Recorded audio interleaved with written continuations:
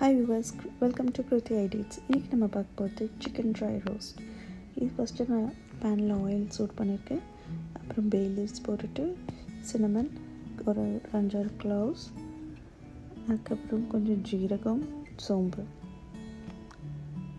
இது போட்டு நல்லா கொஞ்சம் ஃப்ரை இருக்கும். வச்சுக்கணும்.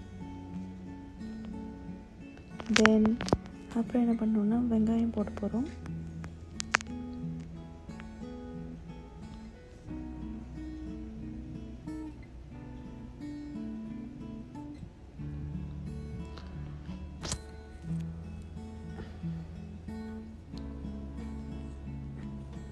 நல்லா வெங்காயம் அதுக்கப்புறம் காஞ்ச மிளகா.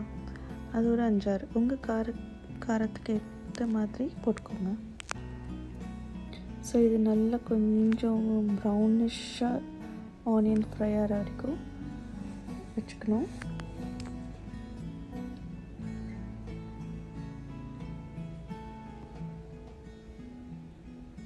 அதுக்கப்புறம் சிக்கன் கொஞ்சம் போடுறோம் நம்ம வாஷ் பண்ணி வச்ச சிக்கனை இப்போ இதோட நல்லா இதிலே குக் ஆகிற வரைக்கும் நம்ம தண்ணியே போட போகிறதில்ல நம்ம.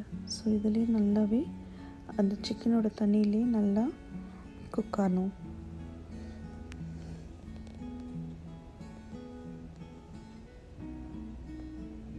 ஏன்னா இது ட்ரை ரோஸ்ட் இல்லையா? ஸோ அதனால் நம்ம தண்ணி போடாமே பண்ண போகிறோம் அப்புறம் இந்த வெங்காயமும் கொஞ்சம் காஞ்ச மிளகாவும் நான் தனியாக எடுத்து வைக்கிறேன். ஏன்னா இது லாஸ்ட்டாக நம்ம இது பேஸ்ட் மாதிரி அரைச்சிட்டு இந்த சிக்கனோடு நம்ம சேர்க்க போகிறோம் ஸோ அதுக்கு வந்து இந்த சிக்கன்லேருந்து வர ஸ்டாக் கொஞ்சம் இந்த ஆனியன்ஸில் இருக்கணுன்னுக்காக கொஞ்ச நேரம் வச்சுட்டு அதை இப்போது நம்ம பவுலில் தனியாக எடுத்து வச்சிடணும். வச்சிட்டக்கப்புறம் சூர் குறைஞ்சோன்னு நம்ம நல்ல ஃபைன் பேஸ்ட்டாக அரைச்சி எடுத்துக்கணும்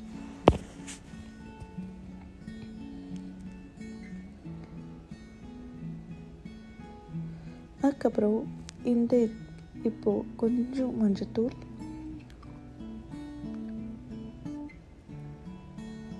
மிளகாத்தூள்.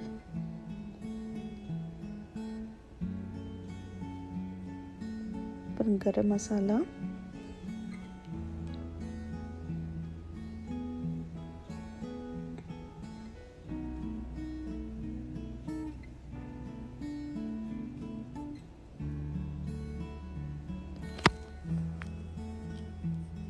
இந்த மசாலா நல்ல சிக்கனில் கோட் ஆகி இந்த மசாலா பச்சை வாசனைலாம் போகிற வரைக்கும் நம்ம நல்லா அதில் சோட்டை பண்ணி எடுத்துக்கணும்.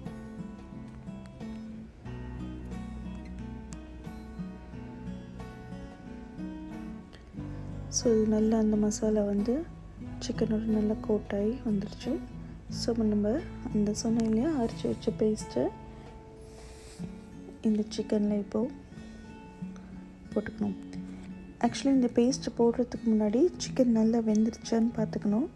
ஏன்னா இந்த பேஸ்ட் போட்டோன்னு ரொம்ப நேரம்லாம் நம்ம ஃப்ரை பண்ண போகிறதில்ல ஸோ அதனால் அந்த சிக்கன் வந்து நல்லா குக் இருந்ததுக்கப்புறம் இந்த பேஸ்ட் போட்டுக்கலாம்.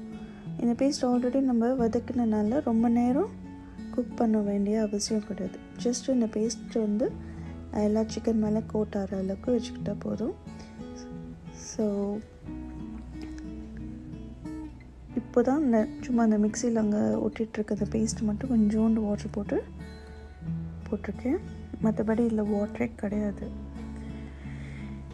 இந்த டிஷ் ரொம்பவே நல்லாயிருக்கும் எல்லா எல்லாத்துக்குமே. ரைஸ் சப்பாத்தி நான் ஈவன் ஃபார் கல் தோசை எல்லாத்துக்குமே ரொம்ப ரொம்ப டேஸ்டியாக இருக்கும். இப்போ லெமன் போட்டிருக்கேன். கொரியாண்டோ அப்புறம் பெப்பர் போடணும். இது எல்லாமே லாஸ்ட்டாக நம்ம ஆஃப் பண்ணக்கப்புறம் தான் போடணும். ஃபுல் சூடில் வச்சு போடக்கூடாது. அது நல்லது அந்த லெமனோட ப மாதிரி கசப்புத்தன்மை வந்து அந்த சிக்கனில் ஏறிடும். ஸோ எல்லாம் ஆஃப் பண்ணக்கப்புறம் போட்டால் போதும். லைட்டாக கொஞ்சம் சுகரும் நான் ஆட் பண்ணுறேன் ஏன்னா அது காரத்தில் வந்து இன்னும் கொஞ்சம் தூக்கி கொடுக்கும்.